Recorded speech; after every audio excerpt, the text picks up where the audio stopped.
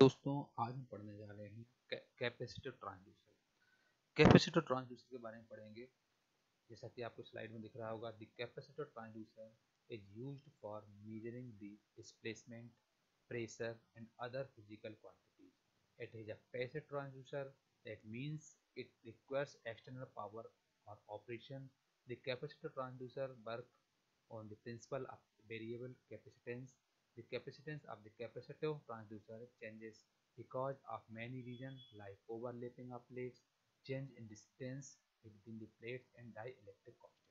Capacitor transducer जो होता है उसके द्वारा हम कोई भी डिस्प्लेसमेंट को मेजर करना या प्रेशर या कुछ भी अलग फ़िज़िकल क्वांटिटीज हो उसको मेजर करने के लिए भी कैपेसिटर ट्रांसड्यूसर इस्तेमाल करते हैं इसका मेन काम होता है अगर हम कोई भी एक्सटर्नल पावर के द्वारा अगर इसमें हम कोई फ्रिक्शनल फोर्स अगर जनरेट करते हैं जिसके द्वारा इसमें कुछ कैपेसिटर के द्वारा हमारे पास जो मूवमेंट करते हैं पार्ट को, उसके द्वारा, हमारे डिस्प्लेसमेंट के द्वारा, इसमें पावर को पावर पावर इंक्रीज और डिक्रीज होता है इसके द्वारा।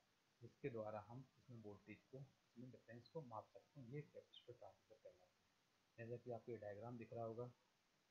एक हमारे पास फिक्स्ड प्लेट है, एक सेकंड प्लेट है। फिक्स्ड प्लेट और मूवेबल प्लेट होता है मूवेबल प्लेट के बीच का जो डिस्टेंस होता है, वो डी होता है। इसको हम क्या करते हैं? मूव प्लेट को हम इसमें स्लाइड करते हैं, डिस्प्लेसमेंट करते हैं। जब हम इस साइड अगर इसको इस साइड इस साइड अगर मूव करते हैं तो ये प्रेशर जो होता है, उसमें इंक्रीज होता है, और इस साइड करते हैं तो डिक्रीज होता है। इसमें कैपेसिटर ट्रांसड्यूसर जब हम इसमें आपस में फ्रिक्शन करेंगे दोनों प्लेटों को तो इसमें हमारे पास ट्रांजिशन जनरेट होता है मतलब इसमें और वोल्टेज का डिफरेंस निकालता है। इनपुट वोल्टेज और आउटपुट वोल्टेज जैसे हम इसमें इनपुट करेंगे तुरंत आपको इनपुट बताएगा और आपको आउटपुट रिज़ल्ट तुरंत देगा। कैप्चर ट्रांसड्यूसर कहलाता है कि आपको डायग्राम दिख रहा है। ये डिस्प्लेसमेंट है आपको, यहाँ से इसको मूव कराना डिस्प्लेसमेंट और आपको अगर इस साइड आप, अगर इसको मूव करते हो तो इसके ऊपर लाते हो तो इंक्रीज होता है। और इसको अगर आप बैक करते हो तो डिक्रीज होता है। ये कैपेसिटर ट्रांसड्यूसर होता है। इसको निकालने का मेन आपके पास एक फार्मूला होता है कैपेसिटर ट्रांसड्यूसर का The capacitor transducer works on the principle of change of capacitance, which is given by C equal to K upon D ये फार्मूला होता है। जहाँ पर C होता है कैपेसिटेंस रिजल्टेंट कैपेसिटेंस जो आप कैपेसिटेंस निकालते हैं। K होता है डाई इलेक्ट्रिक कांस्टेंट A होता है टोटल एरिया ऑफ़ कैपेसिटर जितना सरफेस होता है उसका एरिया D होता है distance between two capacitor C होता है रिजल्टेंट कैपेसिटेंस आपको ये दिया हुआ है। C होता है यहाँ पर रिजल्टेंट कैपेसिटेंस के होता है डाई इलेक्ट्रिक कॉन्स्टेंट ए होता है total area of the capacitor surface जितना भी सरफेस होता है कैपेसिटर का उसका एरिया होता है डी होता है distance between two capacitor surface जो सरफेस लेते हैं, उसके बीच का डिस्टेंस होता है.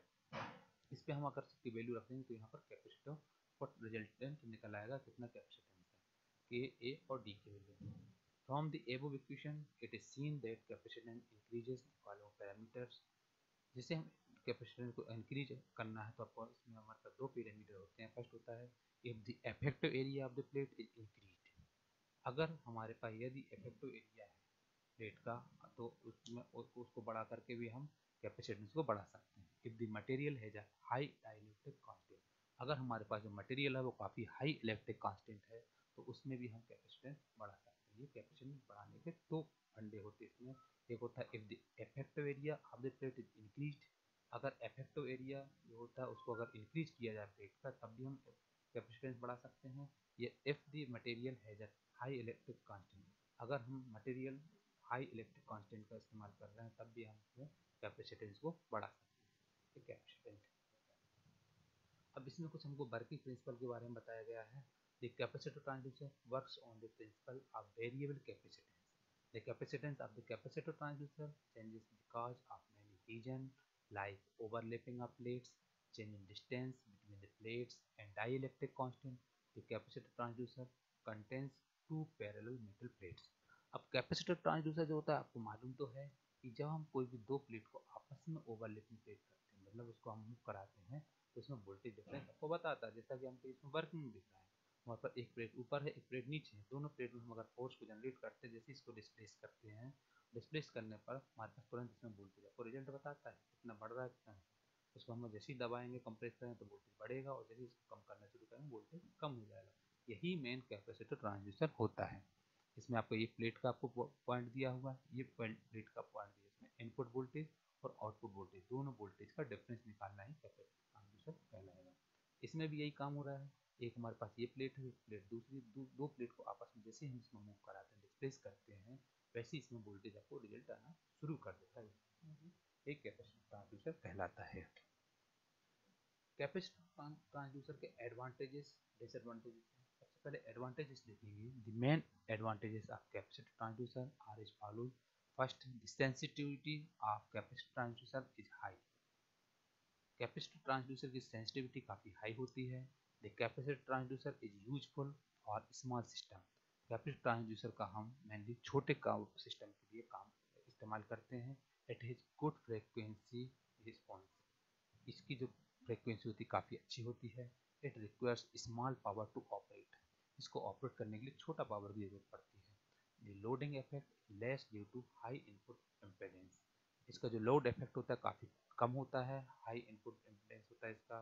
तो एडवांटेजेस जो होते हैं, ये होता है the sensitivity of capacitor transducer is high the capacitor transducer is useful for small system it has good frequency response it requires small power to operate the loading effect is less due to high input impedance disadvantages आपको दिए हुए हैं there are some disadvantage of capacitor transducer which are given below first है the capacitor transducers are temperature sensitivity it gives non-linear behavior the output impedance depends upon the frequency used the capacitance may get changed by dust particle moisture which procedure error आप जो disadvantage होते हैं capacitor transducer का temperature काफ़ी sensitive होता है, ये non linear behaviour type का, देता है।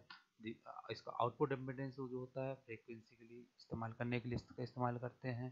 कैपेसिटर ट्रांसड्यूसर में अगर डस्ट पार्टिकल है या मॉइस्चराइजर है तो उसमें एरर रिज़ल्ट आ सकता है। इसके एडवांटेज एंड डिसएडवांटेज एडवांटेज इसमें अगर आपको कैपेसिटर ट्रांसड्यूसर लिखना है तो आ जाएगा transducer sensitivity of capacitor transducer is high the capacitor transducer is useful for small system it has good frequency response it requires small power to operate the loading effect is less due to high input impedance disadvantages में आता है the capacitor transducer are temperature sensitive it gives non-linear behavior the output impedance depends upon the frequency used the capacitance may get changed by dust particle and moisture which produced error